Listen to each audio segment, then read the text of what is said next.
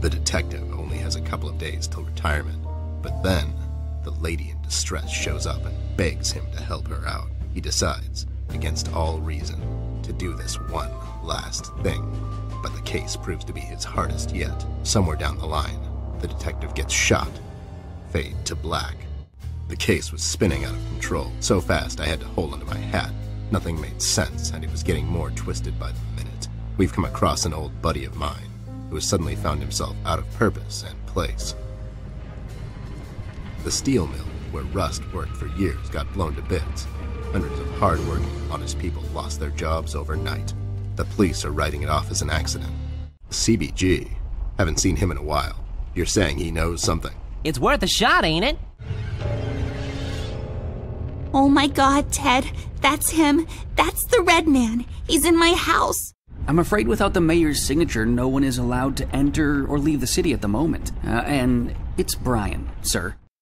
I have a strong feeling in my gut. It's all somehow connected. My retirement, the fires, and the official cover up. What happened to Flint, the Red Man.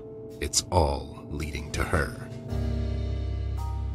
I feel she is the key to all of this. The last piece of the puzzle I have to solve.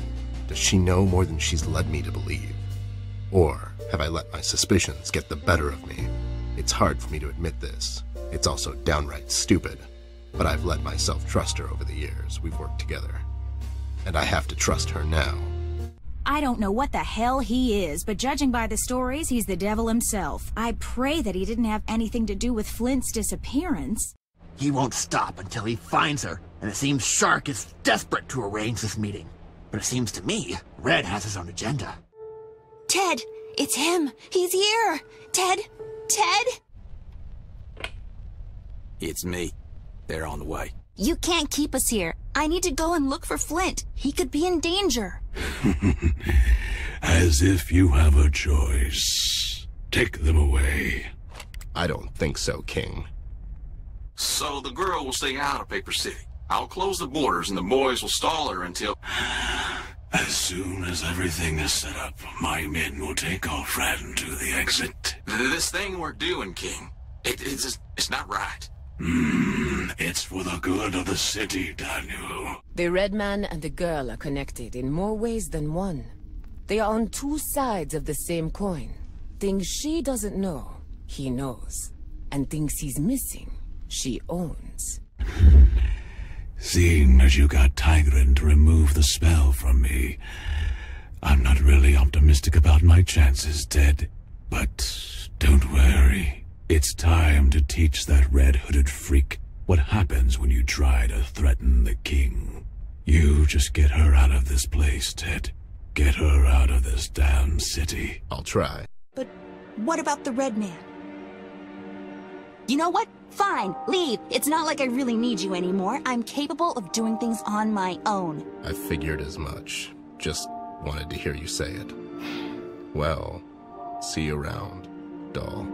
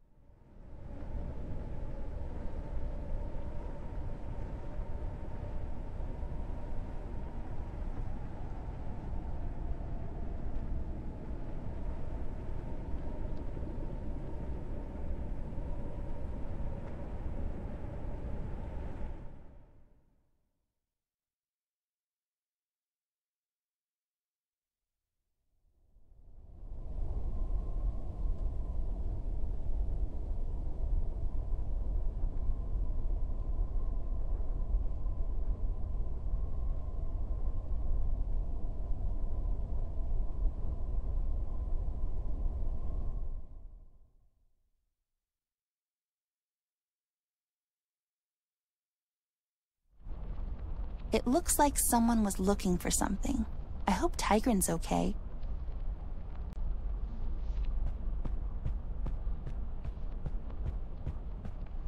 It's locked. There seems to be a panel on it.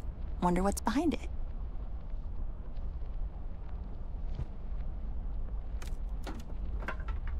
There seems to be a mechanism for the lock.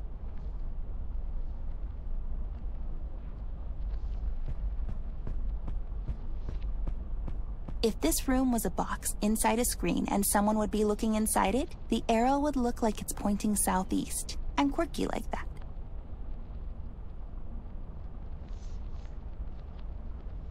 It's turned left, but there's nothing on it. It doesn't say anything, but it's pointing right.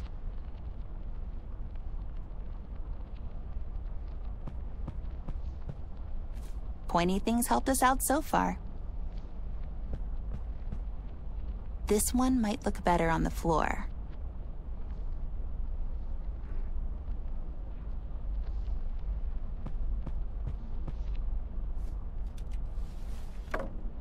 Whoops. My oh my. If this room was a box inside a screen and someone would be looking inside it, the arrow would look like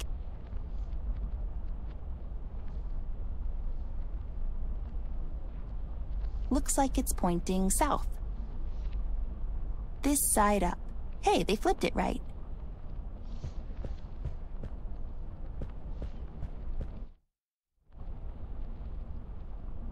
Maybe this thing can unlock the door.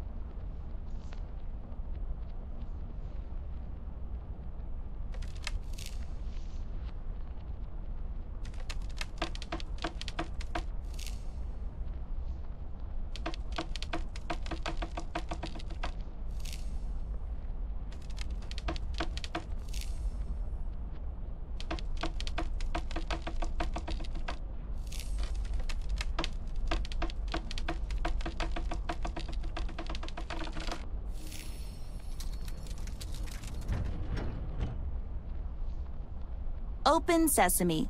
Who needs you, bear?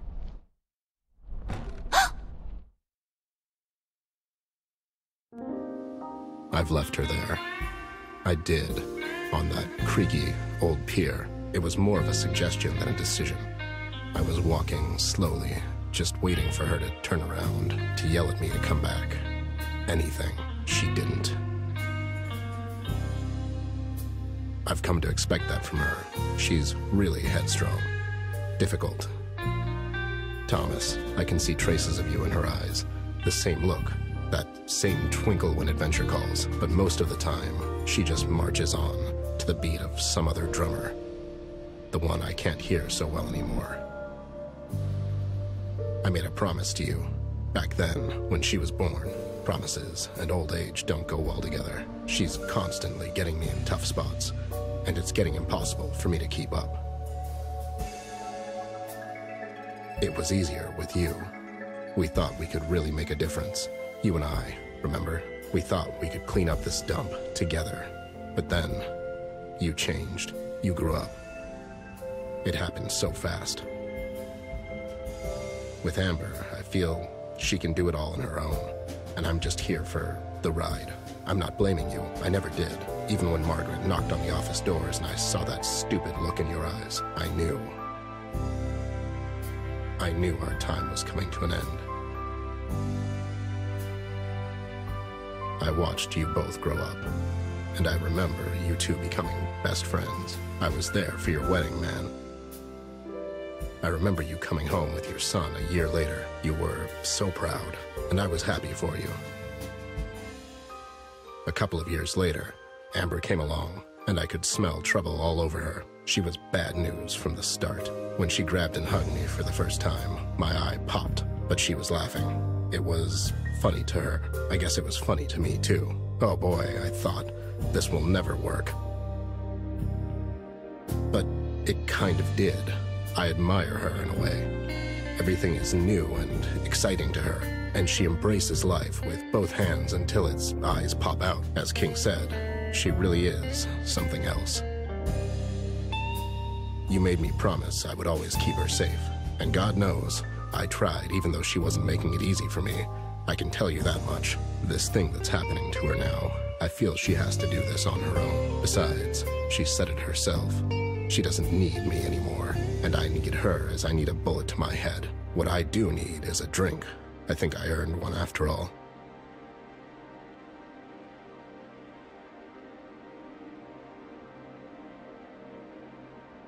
So, Where are we on that drink, pal? As I already told you, I'm not running a goddamn charity here, Ted. Times is tough. Besides, my name is Jameson, as you know, but you just kept referring to me as Thomas this whole time. Who the hell is Thomas? Hey, did I ask for your life story? Just get me a damn drink. You know I'm good for it. I don't, actually. You have an extensive tab here, Ted. You have to start paying soon, man. I told you this already. You damn squid. Who did you call first when you thought your wife was having an affair, hmm? Well, you. But you charged me for it. Yeah, well, you know. Times is tough. At least I give you a friends and family discount. No, actually. You overcharged me for your field expenses, which were basically just you drinking here for free and having me drive you home every night. What's your point? My point is...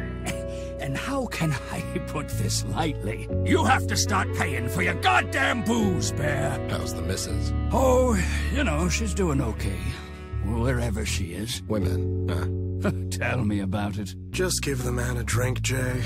It's on me. Hey, Headless. When did you get here? I was literally here this whole time.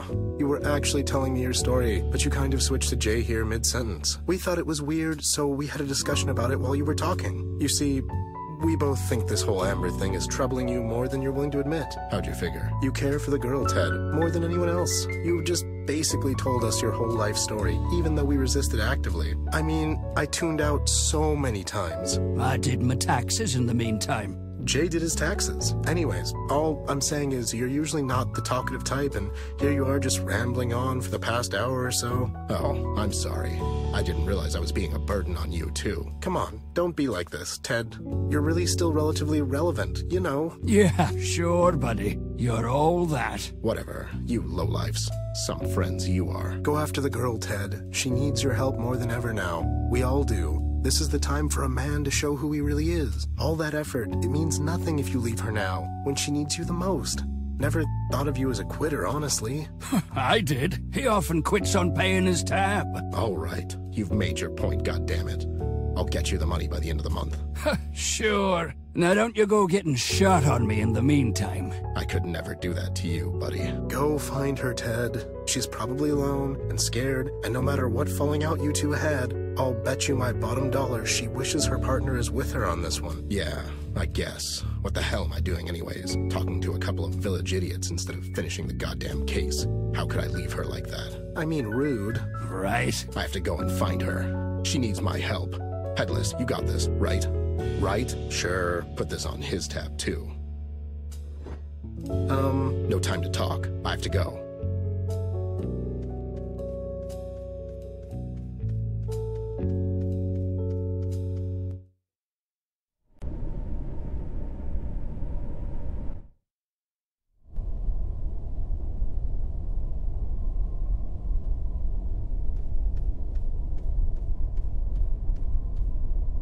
I'll just take these again.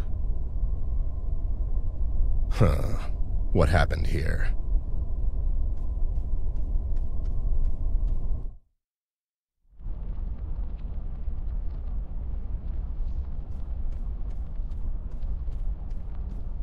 Maybe it'll come in handy. I've wondered what the hell this thing is. Guess I'll never know. Doodles aren't really my forte. Maybe Amber would enjoy this one. A glass slide? Maybe I can view it somehow.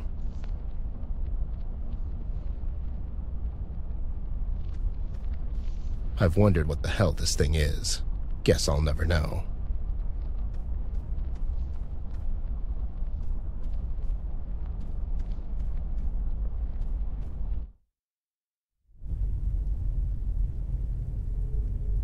I can barely make out the outline on it.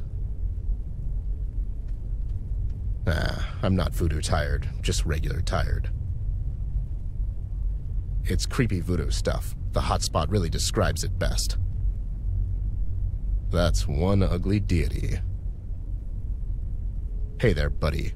Got any tips? Your mother washes socks in the hell. All right, calm down. Stylish, except for the bones. Who would want to spend time with a stuffed animal? Am I right?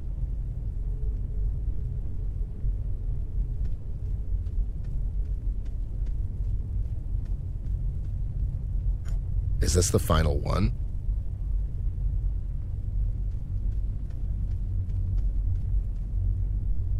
Is this the final one? Hey, your guess is as good as mine, buddy. How to Enslave a Soul. I smell a Pulitzer nomination at the very least.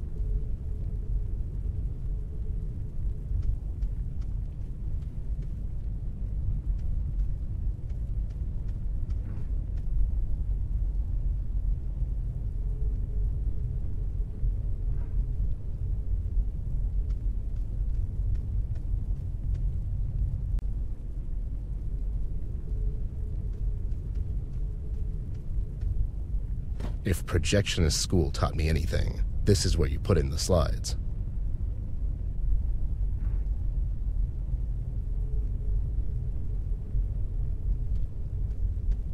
Let's see if this will work.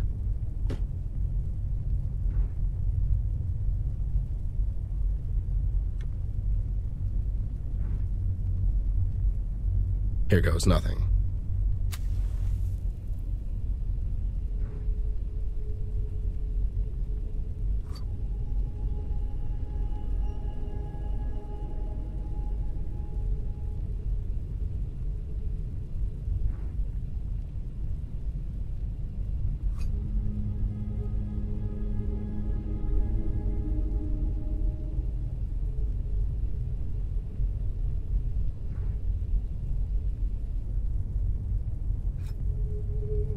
Hell is this? It's like a narrative of our case. What's going on? How could Tigran know about this?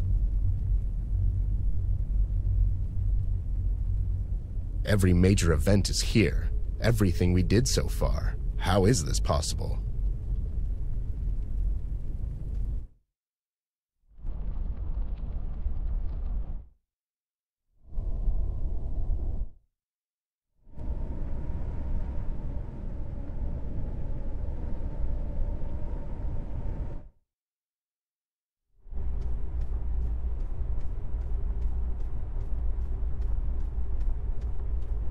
Took you long enough. I was tied up with my work. Never thought I'd live to see the day, to be honest. You me both, Snoop. It's a milestone. So, there goes the Westpaw Casino. Well, one less thing for you to worry about, am I right? That old joint.